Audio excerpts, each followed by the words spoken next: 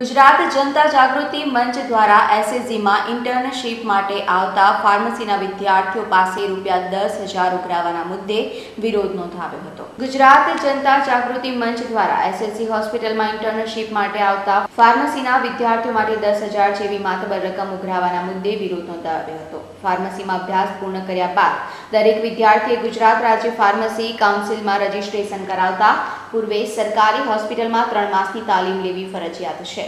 આ તાલીમ દરમિયાન આપેલ સેવાના બદલામાં આ વિદ્યાર્થીઓને સ્ટાઇફન્ડ મળતું નથી તેમજ સરકારી હોસ્પિટલો અને આ તાલીમ નિઃશુલ્ક આપવાની હોય છે તેમ છતાં આણંદની એઆર ફાર્મસી કોલેજમાં અભ્યાસ પૂરો કર્યા બાદ વિદ્યાર્થીઓ વડોદરામાં આવેલા એસએસજી હોસ્પિટલ ખાતે ઇન્ટર્નશીપ માટે જતા એસએસજીના અધિકારીઓ દ્વારા ફાર્મસીના વિદ્યાર્થીઓને દસ રૂપિયા ડોનેશન પેટે આપે તો જ ઇન્ટર્નશીપ કરવા દેવાની ગેરવ્યાજબી અને અયોગ્ય માંગ કરતા વિદ્યાર્થીઓમાં આક્રોશ વ્યાપી ગયો હતો. ફાર્માસિસ્ટના અધિકારીઓ માટે અને મેડિકલ સ્ટોર્સમાં ફરજિયાત ફાર્માસિસ્ટ માટે લાંબા સમયથી આંદોલન ચલાવતા ગુજરાત જનતા જાગૃતિ મંચના પ્રમુખ રજનીકાંત ભારતીએ વિદ્યાર્થીઓ પાસે દસ હજાર જેવી માતબર રકમ ઉઘરાવાના નિર્ણયને તુગલકી ગણાવી વિરોધ કરતા જણાવ્યું હતું કે સરકારી હોસ્પિટલોમાં ઇન્ટર્નશીપ નિઃશુલ્ક કરાવવાની હોય છે. તેમ છતાં એસએસજીના અધિકારીઓ દ્વારા મનગઢત રીતે નિયમ વિરુદ્ધ નાણાં ઉઘરાવી ફાર્મસીના વિદ્યાર્થીઓના ભવિષ્ય સાથે રમત રમવામાં આવી રહી છે.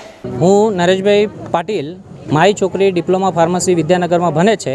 એમને ઇન્ટર્નશીપ કરવા માટે અહીંયા એસએચજીમાં લેટર આપેલું છે પાંચ સ્ટુડન્ટ્સોને તો એ અઠવાડિયાથી અરજી આપી છે, પણ બોલાવતા ને તમે શનિવારે મળવા આવ્યો, તો શનિવારે સુપ્રિન્ટેન્ડન્ટ સાહેબને મળ્યો, તો એ કહે છે કે તમારે દસ હજાર રૂપિયા એક વ્યક્તિ દીઠ ભરવા પડશે. કારણ કે તમારો અનફાસ્ટ સ્ટ્રક્ચર વાપરો, એટલે તમારે રૂપિયા ભરવાના. તાકી છોકરાઓને સ્ટુડન્ટ્સને ઇન્ટર્નશીપ માટે ફ્રીમાં હોય છે. અને એ ફ્રીની જગ્યાએ આપણી પાસેથી દસ હજારની માંગ કરે છે. જે સ્ટોરના ઇન્ચાર્જ છે, જયમીનભાઈ એમને આપણને કીધું કે તો સાહેબ તો પહેલાં પચીસ માગતા હતા પણ મેં એમને કીધું કે ગવર્મેન્ટ સ્ટુડન્ટ છે એટલે પંદર કીધા એમને. અને પછી મેં કીધું કે એમને, જયમીન સાહેબ એમને એવું કીધું કે આ ગવર્મેન્ટ સ્ટુડન્ટ છે પાંચ છ હજારની તો ફી ભરી હોય, પંદર ના ભરે. તો કે સારું, દસ તો આપણે બધા પાસેથી લેવાના, દસ દસ. મારી પાસે દસ સુપરિન્ટેન્ડન્ટ સાહેબ આઈએસ સાહેબ માગે છે. આ મુદ્દે એટલે અમે હમણાં સમજાવવા જઈએ છીએ એમને, એ જો અમને સમજીને એ ઇન્ટર્નશીપ કરવા દેતા હોય તો આપણને કોઈ વાંધો નથી. અને જો નહીં આગળ એ ના માને ગવર્મેન્ટ રૂલની અંદર ના હોય, તો એની આગળ ઉપ- ઉપર સુધી કાર્યવાહી કરવાની છે. નરેશભાઈ પાટીલ.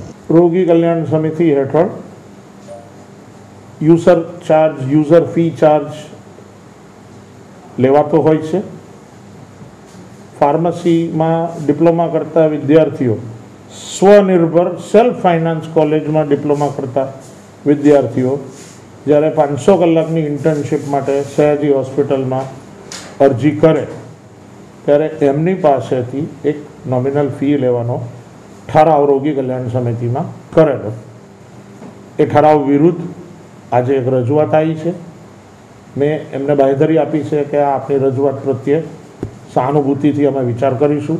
સરકારની ગ્રાન્ટ ઇન એડ સંસ્થાઓમાં કરતા વિદ્યાર્થીઓ જે નોમિનલ ફીમાં ભણે છે, એ લોકો માટે ખાસ સહાનુભૂતિથી વિચાર કરી અમે જવાબ તૈયાર કરીશું. સમાચારોના સતત અપડેટ મેળવવા માટે લોકમત ન્યૂઝને યુટ્યુબ ઉપર સબસ્ક્રાઇબ કરો. બેલ આઇકોન દબાવો અને અમારી સાથે જોડાયેલ રહો. ફેસબુક ઇન્સ્ટાગ્રામ અને ટ્વિટર ઉપર.